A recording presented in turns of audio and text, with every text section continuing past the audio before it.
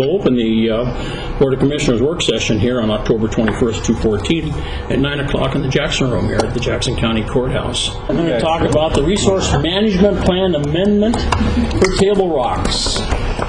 Very good. Well, thank you, gentlemen, for having us uh, here today. I have a Thanks for handout. being here.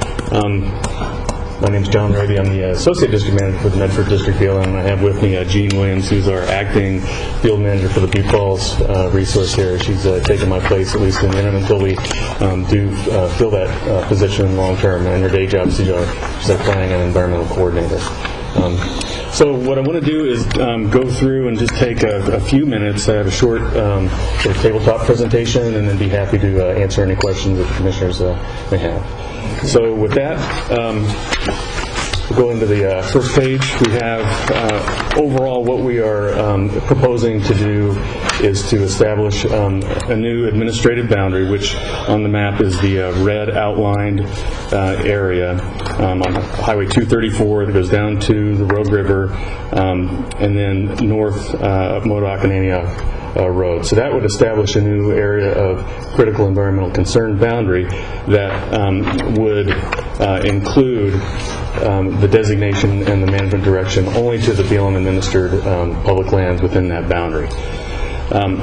So the proposed RMP amendment, it would amend our uh, resource management plan, would establish that administrative boundary.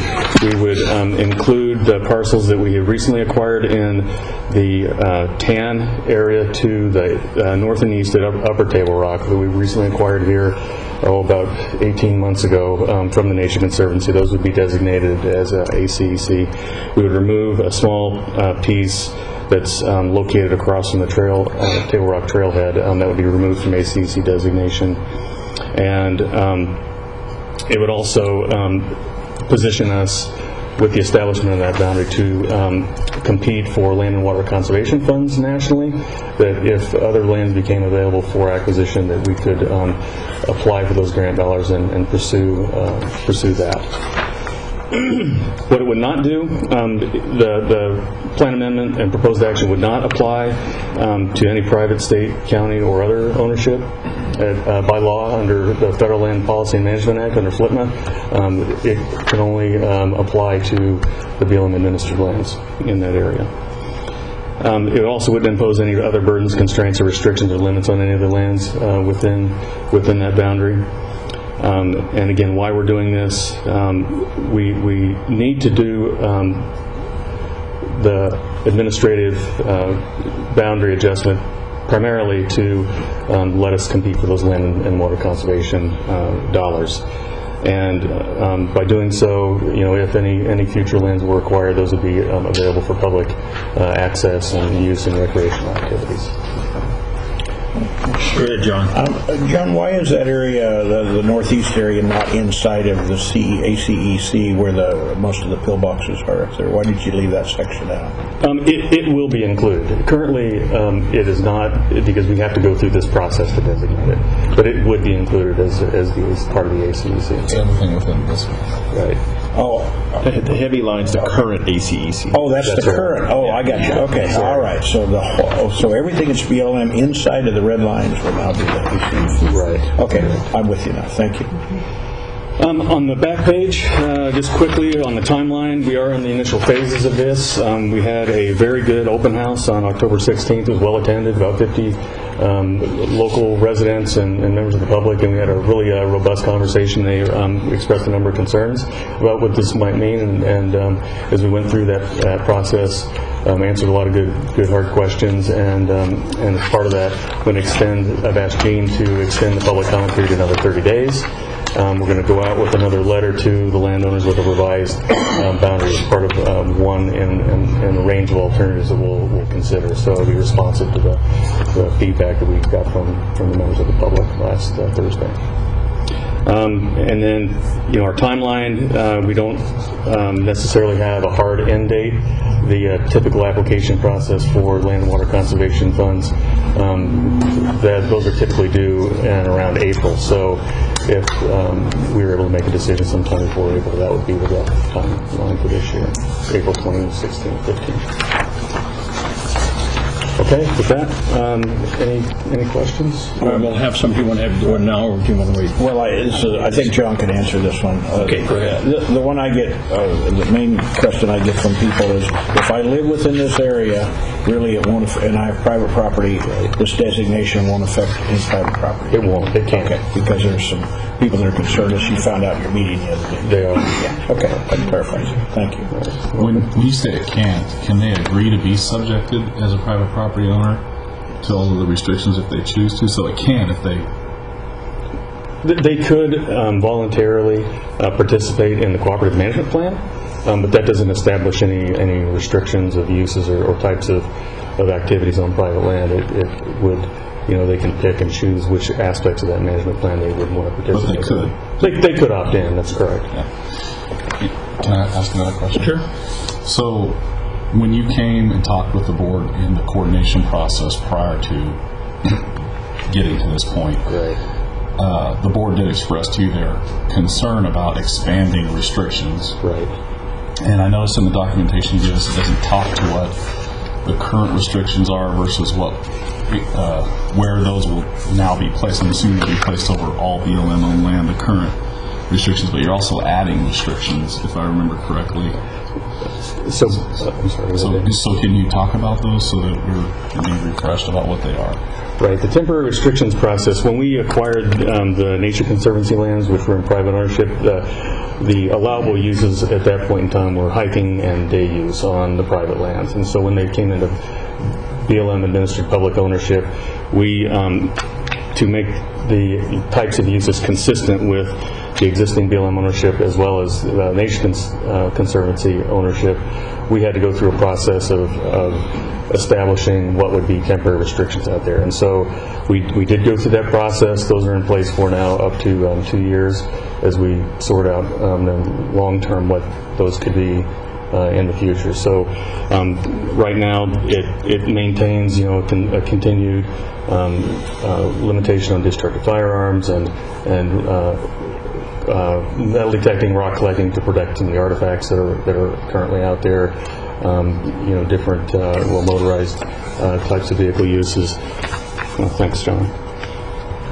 And um, anyway, having dogs, uh, you know, confined just to the trailheads and, and vehicles so that we don't have the conflicts we typically would have. So is it, is it BLM's intent to carry those current restrictions that are temporary forward in this process as your proposal?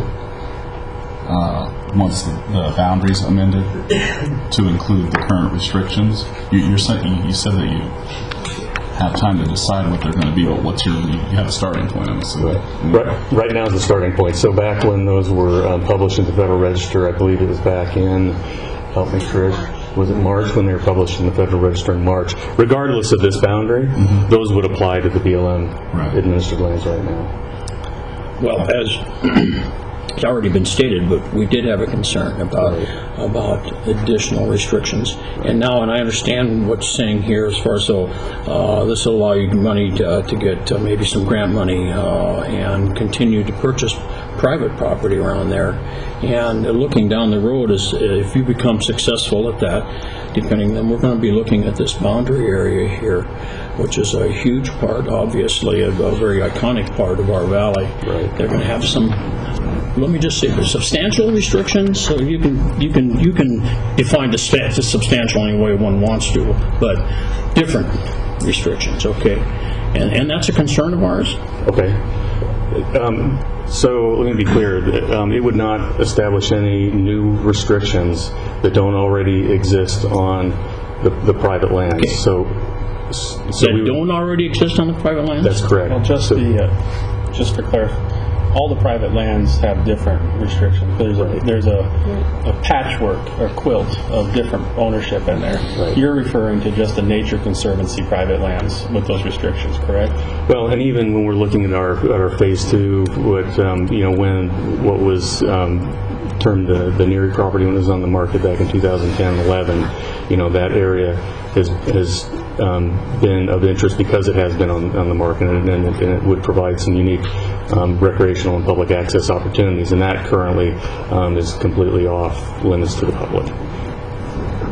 Well, I think what Commissioner Skundrick's talking about is, yes, while they're currently private, those restrictions don't apply, but once you acquire them, as so long as they're within the boundary, those restrictions will automatically apply, will they not? They only, if we go through the Federal Register process and, and establish what those uses are. We would maintain, um, for consistent management purposes, what we have out there um, currently for the types of uses that, that um, are taking place right now in BLM lands. So would it be your intent that if you acquire additional privately, currently privately held property, that you would apply these restrictions to those inventories as well, within the boundary? So if they're required within the next two years, those would, uh, those temporary restrictions would apply. I mean, we have to go through a, a, the long-term formal process of uh, providing supplemental rules, which is the permanent um, types of uses that are established. But if it was in the next two years, those would apply. And that was my question, John. In two years, you review this again to decide whether you're going to continue the restrictions now? Right, they will automatically expire, and then... They will have to- automatically expire, okay. And we have to, right, go through the long-term, what we call supplemental rules process. Okay. And what do you see those restrictions being in two years? Um, They could be somewhat similar, but um, different depending on location. So, you know, we've got, um, right now, the limitation on where dogs can be. We could probably look at areas that would be open to have, you know, dogs, uh, you know, other types of uses. I mean, where we could have um, uh, hunting opportunities depending on, um, you know, how that coordination went with uh, Oregon Department of Fish and Wildlife and, and others. So, you know, again, I think we can have a better conversation about what those can be because we're talking about specific locations and how we can separate uses so we um, reduce the potential for conflicts. So you see, we're operating under, under a couple of different tensions, if you will. Uh, on, on the, on one side, you have private property that would be open to the public once it became, say that that was, and I'm talking about, we also all know about, uh, uh, the, uh, um, the, well, I wasn't thinking the Neary property necessarily, but, but that, that uh, uh, Nature Conservancy properties, but the other private landholders in here. And again, like I say, it's an iconic area and it would give access then uh, to the public. That's the good side, okay? The, the, I don't, I won't necessarily call it the bad side necessarily, but again, but the, the other side of that same coin is, is that obviously with, with that access comes restrictions. And, and, and as we, and I know that sometimes doesn't sound like a, that's a big deal, and put the dog on the leash and etc. but, you know, we want to be out in the wild, you want to, I don't have a dog, so I'm not, I'm- but I'm just saying, I'm using that as an example. Uh, running, or if you're used to shooting rabbits, or whatever the case may be. So, um, that, see, that's why I say the tension there, that on one side it's a great deal, it's going to open up some land for public access and use and enjoyment, but on the other hand, it certainly comes with conditions. And that, and that, that is true, and, but we feel like by going through a robust public process, we can establish what those uses are and, and have a, have a better discussion about, you know, what the expectations are of the public and, and be responsive to that as well. Would it be your intent to have the new plan in place prior to the expiration of the temporary rules? Having the new plan in place, Yes, in place. I mean, you're going to provide uh, various options, I'm assuming, based on the input you've had. Right. And then you're going to adopt to move one forward. Are you required to go through uh, a NEPA process for any of this We- since it falls under flood law? we are, it, it does have, and that's what we're currently in right now. We have to do an environmental assessment with a range of alternatives. So, what's the timeline for completing this, I guess is what I'm saying. You know, the, the temporary rules will expire two years, but it doesn't matter if they expire if the new rules are in place. Right. So the new boundary would, not, not the um, long-term uses, so supplemental rules, that process hasn't even started yet. So by March of 2015, um, I'd like to see this decision signed. So that would mean that one year already of those temporary restrictions would have been in place with another year remaining, which we would then go through the process of looking at the supplemental rules. Yeah. And is a year a long enough time period for you to get through the supplemental rulemaking process? it's going to be close. It, it, it could very well be that these expire before that process is completed based on the way I've seen that, that work. So, uh, John, you're a a property, private property owner within this area and such. Did you attend that meeting that, uh, here? or the- No, that was the night that you were gone, and we each had other meetings we had to go to. I had a fair board We did meeting. have staff attend though. Okay, So, okay, well, well, I want to come back then, I want to get some input then, John, you, so you can report on that, but as a private property owner in the area, I'm I'm kind of curious for your, for your input here. Well, I'm not concerned about the restriction, well, I am concerned about the restrictions as we talked about earlier, but uh, I was just thinking as you were talking about it, my property joins that, and right now I let people ride horses on there, and I let the, uh, the the search and rescue dog team come up there. If, if the federal government BLM buys that from me, now those restrictions will be on there, which they're not on there now. So to to your point that you mentioned earlier, it'll be more restrictive, you know. I don't think the federal government can afford you, Joe. Well, I was going to donate it. You are. We can afford that. John Vial, uh, can you kind of give us a uh, quick uh, briefing on, on, uh, from the staff on? So I, I think John probably summarized it pretty well. There was a lot of concerns amongst the private property owners, especially in the John Day Drive area. A lot of the people that live down there um, between John Day Drive and the river. A lot of concerns, not understanding what these restrictions, what this this boundary means, and uh, perceptions or feelings that those restrictions would uh, apply to their private property. Um, if is if it in fact is exactly as John's explained it, those restrictions have have no no impact on private property whatsoever. They can only apply to BLM per law. I don't think those people are impacted. But in all honesty, there's some trust issues, and there's some people down there that aren't sure that they believe that, and they're concerned, and they have um, some strong feelings. That, I can't believe. Yeah. they have some strong feelings that they should be excluded, that, that, that they shouldn't be included in, inside the boundary. Was there not also some discussion about, is there an intent to actually make this a national monument area? Yeah, there's a fair amount of discussion ab- about is is this the next move to make this area um, the next uh, um, uh, Cascade um, kind of a, a set aside and, and, and a taking there. Um, and uh, I mean, BLM assured us that that's not the case. Um, again, I think there's some, some trust issues there. I, I think the last thing that jumped out is a lot of people are concerned that if they're in this boundary, that this boundary has to be disclosed at the time of sale, and that therefore their property values would be reduced, and people would be afraid to purchase the property because they're inside of this boundary, and there was a lot of concerns expressed around that as well. And as I talked with John's staff, one thing that did jump out to me on that was th- this is not a land use decision in any fashion. Nothing's recorded. There's no restrictions per, you know, development services that come along with this boundary. It's an administrative boundary on a map, and that's it. On the other hand, that can be, that can be, uh, actually could raise property values. You know, people say, hey, I'm right up against BLM land, I don't ever have to worry about development behind me. I mean, so it could work either way. So, so John, you said BLM assured us that that wasn't the case in terms of creating, you know, a designation. But can they really assure that? I mean, that's not something they can assure, right? Well, I mean, as I talked It with may, may John, not be their intent, but they may not be in control of whether or not that happens, is what I'm getting at. I would agree. As I talked to John's staff, there was nothing to indicate that this was the local office's goal. But does that prevent somebody else from doing it? No. You know, I just would want to make sure that if the public asks Oh, that, yeah. that we qualify. Yeah. BLM has indicated their We all intent, and recognize that, that. you know, the president can pretty much Okay. John? The, the the only thing I, I guess I just asked John to clarify. John, you, t- you noted you're going to leave the record over, open 30 more days, and you said that you might adjust the boundary. You maybe discuss what your thoughts are? So, there again were some strong feelings, um, especially from the folks in the John Day Estates area and, and other landowners, and and we would um, look at the potential for having um, possibly a boundary that might be focused specifically around Lower Table Rock and a separate one around Upper Table Rock, so that it um, leaves out, you know, the areas that are of most concern for folks, and, and only includes areas that um, folks are supportive of. That So, excuse me, John, Yes. so what areas are you talking about that might be in, in, the, the, the, the properties between the, ro- the two table rocks or down towards the river? or- So what a possible um, second boundary configuration could look like, let's see, let's see if I can do this. It, it could potentially, John, include, John, include something like that as one separate piece, and then this boundary around Okay, so that's kind of a what I- second okay, that's kind of what I was guessing. And if you did that, that would mean that all of the property in between would no longer qualify for land and water correct. conservation fund. That's correct.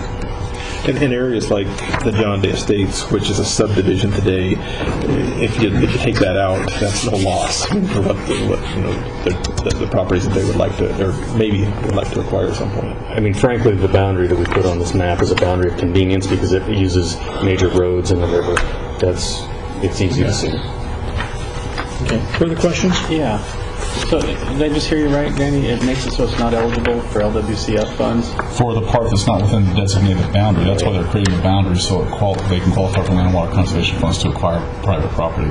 So if they shrink the boundary, only within the boundary do the properties qualify, which means everything they cut out wouldn't qualify for the use of land and water conservation funds. Exactly. So that's, But it could do, I'm sorry, but what they could do is like they did with uh, um, the uh, Nature uh, Resource Conservancy, Nature Conservancy. Nature Conservancy, is they could acquire the property and then do a similar thing with BLM, which would put it in their ownership. It just wouldn't be within the boundaries, but they already said they would likely adopt a temporary rule to make restrictions. So even if they shrink the boundaries, they could still have a manner to acquire those properties that are outside of the Land and Water Conservation Fund piece um, initially, but may qualify for land and water conservation funds if they amend it and bring it in.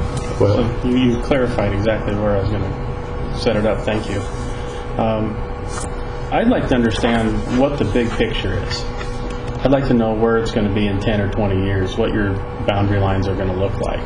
Because what I'm seeing here is a systematic small taking that seems to be growing and growing. And it's inconsistent with the uh, policy that I'm getting from Cynthia from the national side. Cynthia Hayes, the BLM uh, um, liaison to the counties, which is telling us that the LWCF funds are going to be starting, they're going to be, the BLM is using those to maintain properties, not to acquire new properties, and then we're working in that direction. So I'm kind of wondering, what's the, where are we going in the big picture with this? How much more private land do you intend to lock up? Um, because that has an impact on our, our, our communities, as you well know, because this is right in the middle of a, a residential, rural ranching community. And are, are, is it the intent of the BLM to start releasing other lands within its jurisdiction to compensate for this amount? Because I'm sure that you're going to have to uh, pay for the management of this, and it's going to go, it's no longer going to have special funding that's come out of your general obligation to be able to pay for the management, which is going to take away from timber receipts or something else somewhere else. So how, how is that going to balance out? So a couple things. With our um, Table Rocks management plan, that does describe our long-range plan um, for management of BLM administered lands in the area as well as the Nature Conservancy.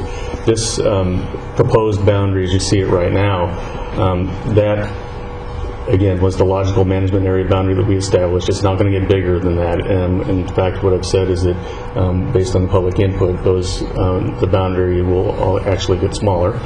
Um, it will not affect private lands in any way, shape, or form within those boundaries, other than to allow us to compete for funds nationally, which we may or may not be successful. Um, depending on how those priorities uh, shake out, it's a very competitive process.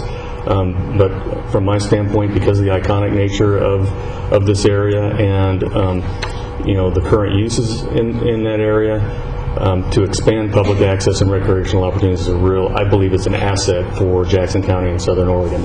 Um, is a real draw economically um, for people to be able to use in areas such as that. We would make trade-off decisions um, in terms of where we would allocate uh, our funding, but what we found is that um, we've developed strong partnerships. Our Mountain of the Rogue Bike Trail is a good example where we um, received outside grant funding sources. We have volunteers constructing that trail with very little to no uh, public funds because folks um, enjoy that type of use and, and um, they take ownership in that. So I would see something um, similar being a possibility uh, here as well.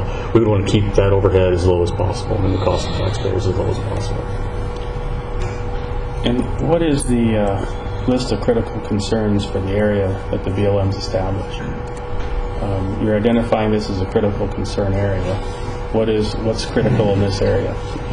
Is that, is that list identified? Is it on public record with the county? Or, I mean, I, I haven't seen anything given to us during these conversations on what is actually the critical concern that these regulations have to be put in place for. So for for and, and I can make sure and get you the uh, the information on on the nomination forms and how that uh, was put together, but.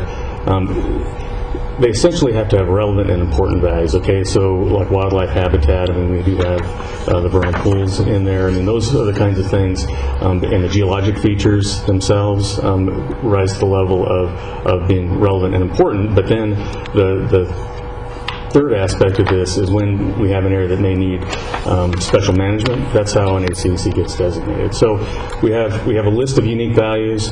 Um, I wouldn't call them; um, those aren't concerns. They are they are values that we're that we're managing out there. Um, it's the it's the terminology that we've had since 1986 uh, in terms of the management direction for ACEC. That's the that's the language that, that we live with. So. And it, it's a little bit difficult for him to tell us what's going to happen in 20 years. It'd be like asking the board here, what are we going to do in 20 years? So, The, the other thing too, with regard to private or public ownership, is you know even for example the portion that the Nature Conservancy uh, acquired is it's available for private sale. I mean, no one wanted to compete and buy it, so it was a private person, a private party that sold it.